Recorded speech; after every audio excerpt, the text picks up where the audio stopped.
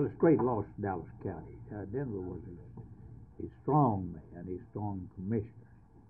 He was rather a quiet person, but he was very effective on the commissioner's court. And uh, he helped bring about uh, a good county government. He worked at it rather hard. He uh, didn't move out as, as fast maybe as some, but he was steady and he was solid.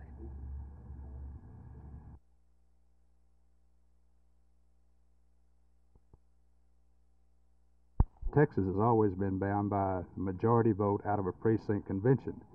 Uh, these people uh, go to the county convention, they're into the state convention, and they're into the national convention. Under the California at this time, will go bound to one delegate out of a state primary. There isn't any reason why we should dissolve or uh, remove. We're the fifth largest state in the country. We're going into the convention with the fifth largest delegation, 96 votes. If we go in with uh, with our delegates divided among three, four, six candidates, that knocks us from the fifth spot down to the 25th or 35th spot. It, we lose our effectiveness.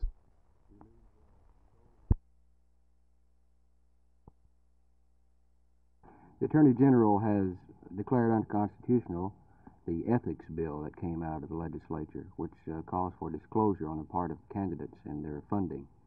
Do you feel that the uh, intent of that bill is still clear, even though it was vetoed, and will there be full disclosures? I, I'm sure that the intent was clear. Uh, I'm sure it is still clear uh, to the people around this state that they would like to have their public officials uh, disclose, uh, for the most part, what their what their business interests are and what their financial condition is. And I think that most of the candidates uh, running for any public office uh, will make this offer of disclosure.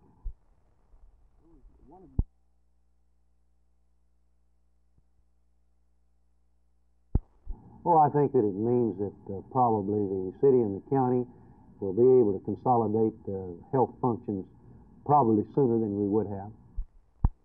Isn't it possible, Judge, that this all should have been done a long time ago? Only a few years ago would we have been able to do so because a constitutional amendment was passed uh, by the legislature that will enable us to consolidate the functions of the city and the county. And so it's been only a short time, and of course it uh, requires a few months and sometimes a few years to implement programs that are needed. And I want to say this that Dr. Hutcheson has been a good uh, county servant for the past uh, several years. He came in in 1962 and has served the county well, and uh, we regret his passing from the scene. But uh, I believe that over a long period of time that it will be helpful if we can uh, maintain the efficiency that we have now uh, at a reduced cost to the taxpayers of course, that's good.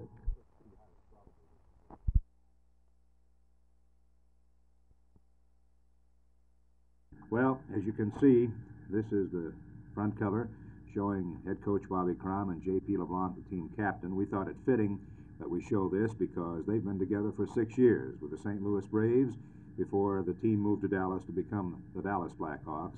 So it was only fitting, as I say, that we had this cover. And then on the inside, a most beautiful centerfold, which shows the team picture on the one side, but on the other side, on the left-hand side, is all the lines, the primary lines that we use in full color, which we think is going to be a tremendous uh, conversation piece.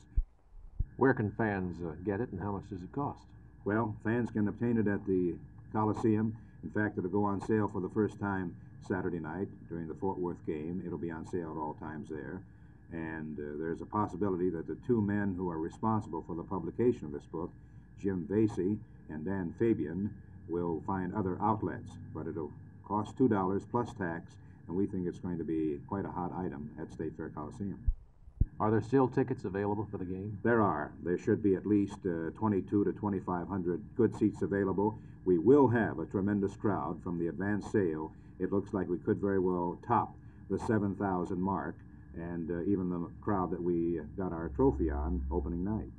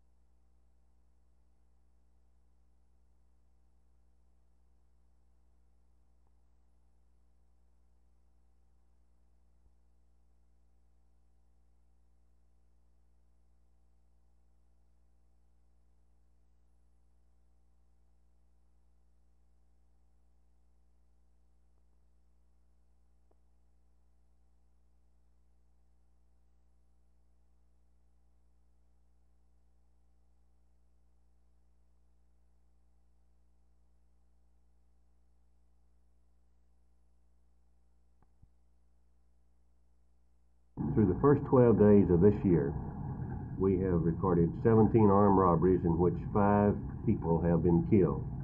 Some of these have been innocent bystanders, some have been victims of these robberies. This is a serious matter, and we're taking some very stern steps in dealing with this matter. We are now beginning to deploy our shotgun squads in potential robbery locations. Our crime analysis unit has been doing an outstanding job in describing for us potential robbery locations. And using this information now, we are deploying in pairs shotgun squads in these potential robbery locations in an effort to apprehend those uh, armed robbery suspects who are causing so much concern for all of us in this city.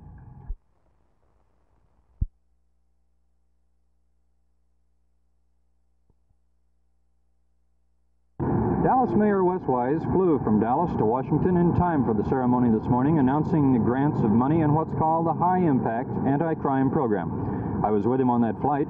We talked about some of the reasons Dallas will get the money. He spoke highly of Police Chief Frank Dyson. He said Dyson has made many innovative moves since he became the chief, and he said Dyson has put Dallas ahead of other cities such as Baltimore, Boston, and Cleveland. Because Dallas is more fortunate, it has not so much crime on the streets. We're starting with somewhat of a leg up. In the old executive office building in Washington today, Attorney General John Mitchell spoke of the program and then introduced the Vice President, Spiro Agnew, who spoke of the goals of the High Impact Anti-Crime Program. The goal is to make a quick, high impact against burglaries and a variety of street crimes, robbery, mugging, assaults, rapes, and we hope to reduce street crimes and burglaries by 5% in two years and by as much as 20% in five years in each of these cities. There will be a public education program to inform citizens as to how they can better protect themselves and their property. This education effort will also involve research and the application of present techniques for the most effective systems of locks and alarms.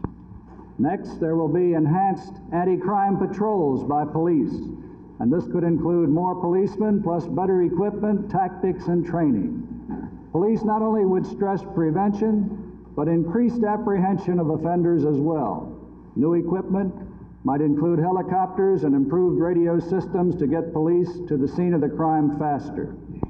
High impact will also involve special programs to prosecute street crime and burglary offenders and this means both more effective and larger staffs of prosecutors and special court dockets for these offenses.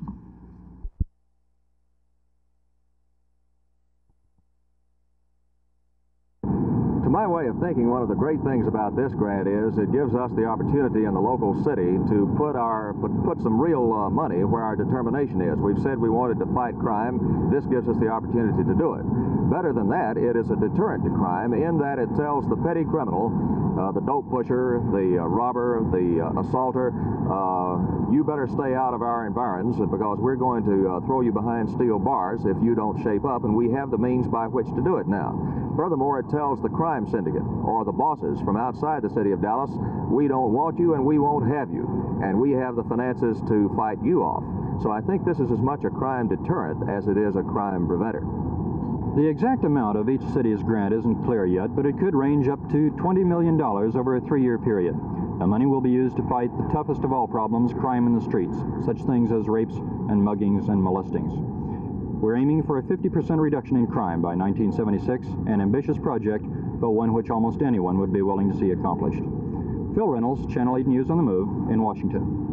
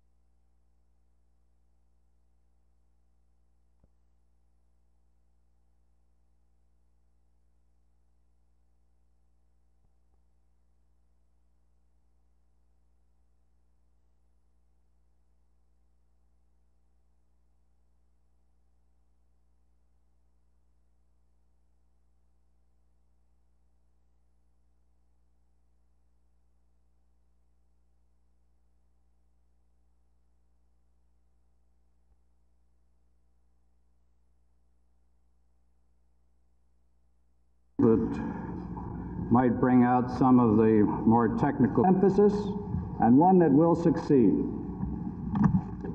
Thought of question.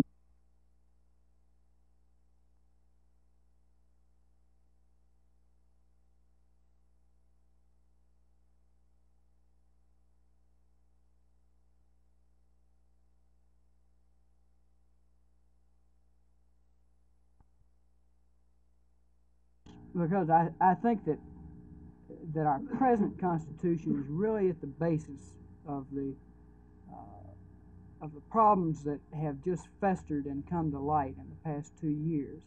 We keep talking about reforming this aspect of government and that, and invariably the problems go back to to this uh, multi-volume document that was was adopted in 1876 when we were trying to restrict state government as much as possible.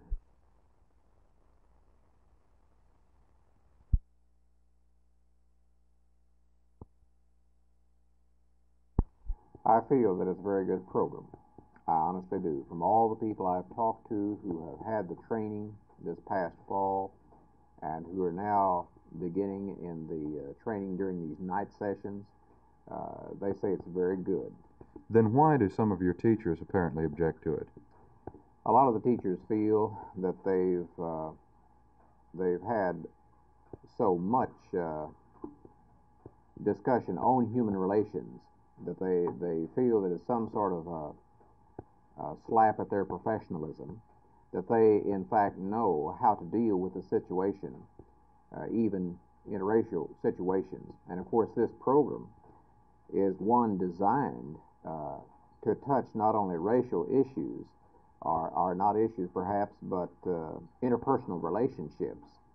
And I think that's the thing that the people do not understand. Most of the teachers do not understand. And uh, again, the people who have had the training have uh, praised it. They, they found it uh, great. And they found that it would uh, help them in any situation other than, you know, as, as well as a classroom.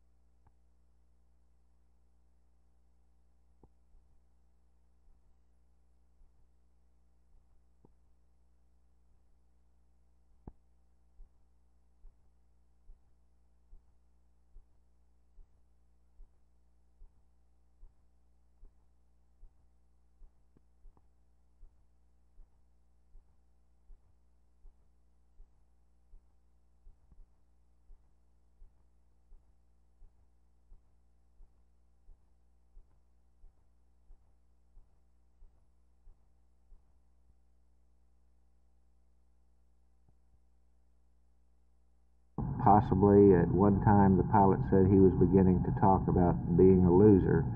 Uh, when someone begins to talk about being a loser and are desperate enough and is desperate enough rather to uh, resort to the tactics that he had resorted to, then you begin to worry. Well, he may do something in desperation. But after 540, I think that uh, he probably began to realize that uh, this wasn't going to work the way that he felt it would because up until 540, uh, he had control of the situation. He was giving orders to everybody, and uh, everybody was obeying the orders that he gave, such as uh, he wanted the cars away from the plane, he wanted the openings in the plane closed. Uh, the only thing that uh, he wanted done that we did not do was disconnect the gas truck.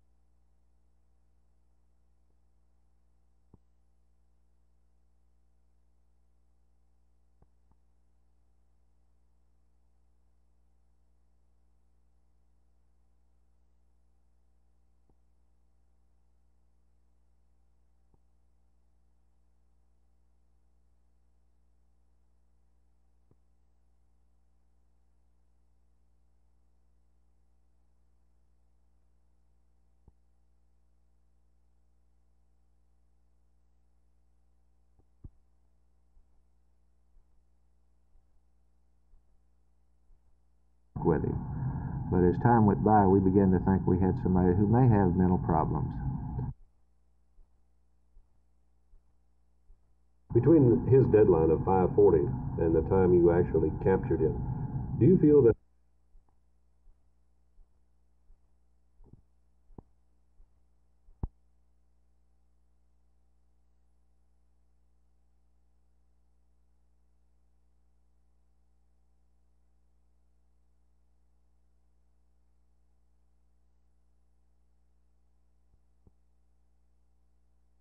Last year, seven games into the season, Tom Landry decided to call every play. He used an alternating tight end system to send in plays from the bench, then using Pettis Norman and Mike Ditka. In 1971, Bill Truax acquired from the Rams, along with the venerable Mike Ditka. They have been an instant success for the Cowboys, catching more passes this year than two tight ends have in the club's history. I talked with both of them here in New Orleans. Bill, this must be a dual thrill for you, first of all, to have the Super Bowl in New Orleans in your home territory, but also to be playing in your first one. Oh, Verne, I tell you, I can't believe that Truax is going to the Super Bowl, and especially I can't believe that Truax is going to the Super Bowl in New Orleans. I think uh, last time we were here and we played the Saints, we had a real bad day. Let's hope that we don't have a repeat.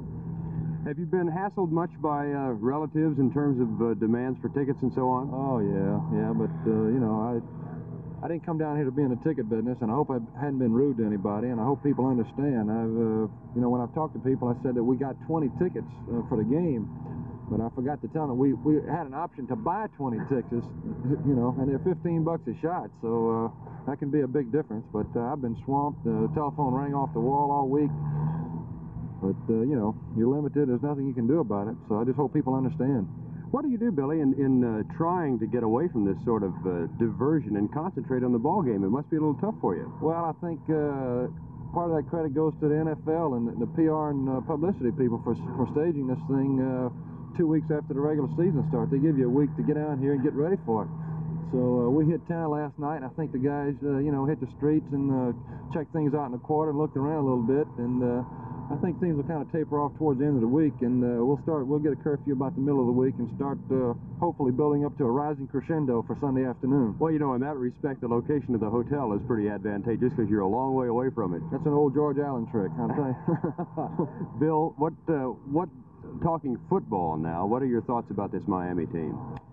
I think they're the finest football team that we've played. Uh, Frank Lieber asked me earlier what team that I could compare them with, and it would have to be a Baltimore team because of the uh, the coaching. Uh, Don Shula, I think, uh, gets all the credit for this success that this Miami team has enjoyed. Uh, these guys were just plain old ordinary guys. Uh, hell, they were losers for, for several years, you know, and he came down here and turned the whole thing around, similar to what George Allen did when he went to Washington. I think all the credit goes to Shula. Uh, with all due respect to all the players, the great athletes that they have, but uh, they were there before Shula got there, but they weren't winning. You know, in, in your sense, of course, this is the first Super Bowl for you, and I'm sure that there'll be a, a gut reaction to it, a little bit of tightening in the stomach muscles. But uh, for the rest of the team, this is the second time around, and it's, it's an experienced ball club. Will that be a factor? I really don't know, Verne, because like you said, this, this is my first chance here, and uh, I just know that everybody on this club has got a championship ring, and I came here to get myself one. I just want the biggest one of all of them. Mike, this is the second shot for you fellas. Uh, I was talking with Bill Truax and asked him if he thought that the experience factor might be uh, important in this ball game. What are your thoughts on it? Uh, Verne, I, I really can't say that that's that's really important. Really, I think the whole thing is going to boil down to Sunday. I think we're ready to play. I think you know the maturity. Uh, last year we went into the game, and I think there was a lot of uh, hesitation in our minds that we really weren't sure what we were doing.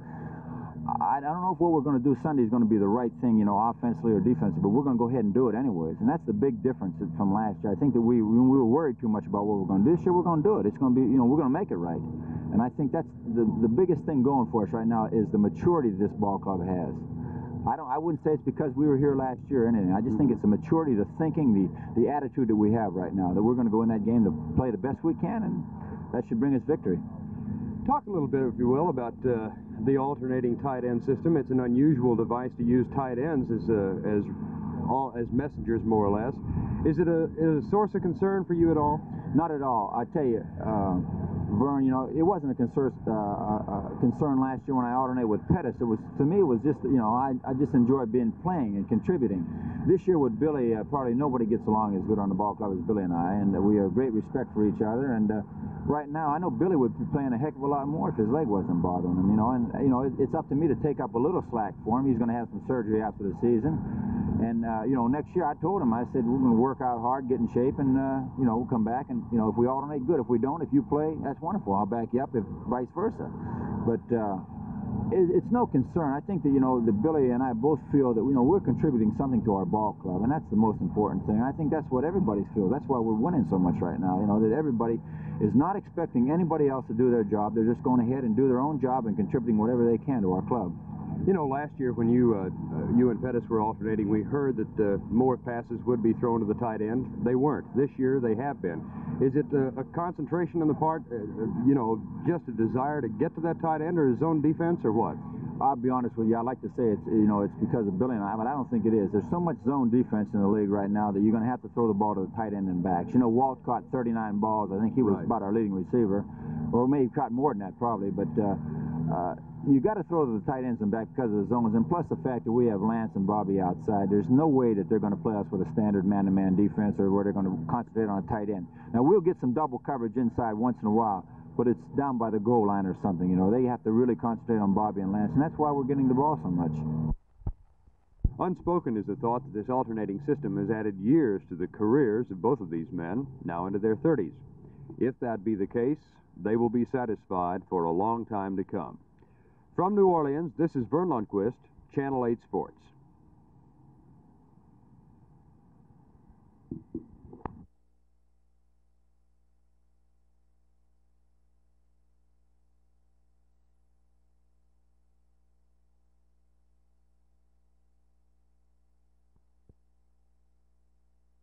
Tonight's Super Bowl report is brought to you by Lynn's Jewelers. The cowboy running duo of Calvin Hill and Duane Thomas have been glorified for their efforts in leading the Cowboys to Super Bowl VI.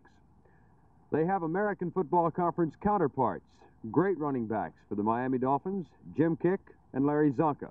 And we'll talk with that twosome after this message from Lynn's Jewelers.